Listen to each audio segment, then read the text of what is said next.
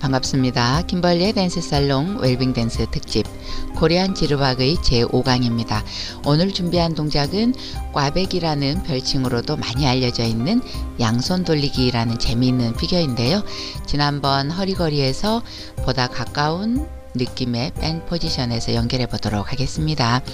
이 양손 돌리기는 숙녀분의 입장에서는 좌회전과 우회전을 번갈아 회전하는 그런 동작이 되겠습니다. 배우실 동작 밴 포지션에서 예비 스텝을 생략합니다. 1, 2, 3, 4, 5, 6 1, 2, 3, 4, 5, 6 반복해서 두 세트 하고요.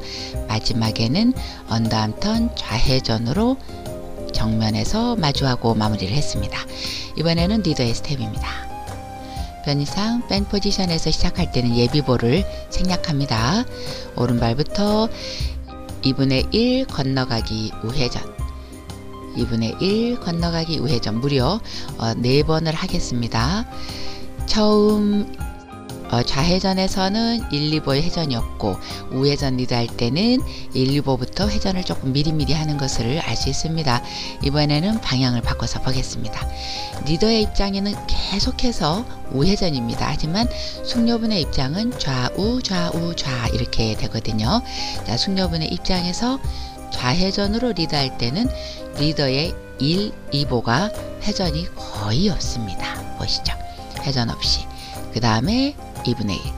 이번에는 우회전인데 미리 회전을 하는 모습이 보이죠.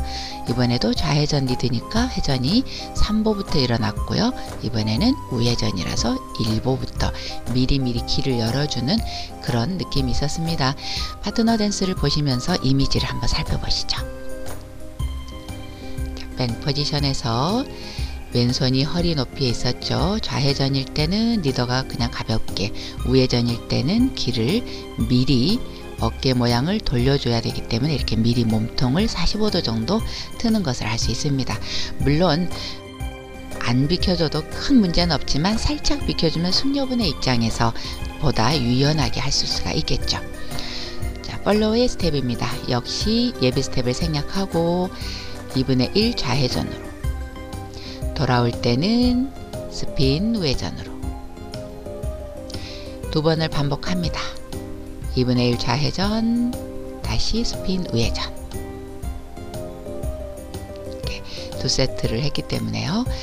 자 마지막에는 언더함턴 좌회전은 숙녀분의 입장에서는 2분의 1 좌회전입니다. 이 비겨의 명칭과 숙녀분의 회전하고는 조금 별개로 보시면 되겠습니다. 숙녀분의 입장에서는 계속해서 같은 어, 회전이 중첩되는 경우가 많죠. 자, 양손 돌리기 2분의 1 좌회전 스핀 우회전 여기까지가 한 세트이고요. 이제 그냥 어, 마무리하기가 아쉬워서 한 세트를 더 합니다. 대신에 손을 한 번은 허리 높이, 한 번은 어깨 높이로 왼손을 바꿔서 보다 다양성을 이제 고려를 했고요. 마지막에는 2분의 1 좌회전으로 마무리를 했습니다. 이번에도 역시 파트너 댄스를 보면서 이미지를 그려보겠습니다. 자, 팔로워의 입장에서 한번 보겠습니다. 이렇게 밴 포지션이었죠. 여기에서 한 번은 좌회전, 한 번은 우회전. 리더가 길을 잘 열어주면 숙녀분은 일직선 트랙으로 회전을 하실 수가 있고요.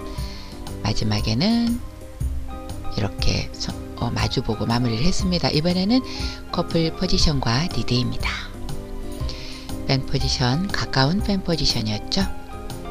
여기에서 좌회전으로 숙녀분을 이제 반시계 방향 underarm turn이라고 합니다. 시계 반대 방향으로 손을 들어서 통과시킵니다.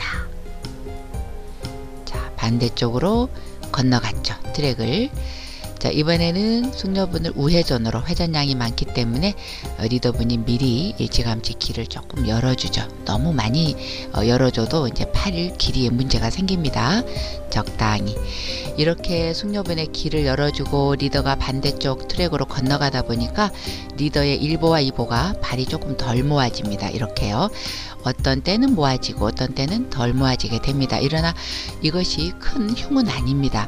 상황에 반응하기 때문에 일어나는 현상이니만큼 아 이렇게도 할 수 있구나라는 관용도라고 할까요? 상황에 반응하는 그러한 이제 경우의 첫 단초가 되는 것을 알 수 있습니다. 그러면 음악에 맞춰서 1강부터 연결해 보겠습니다.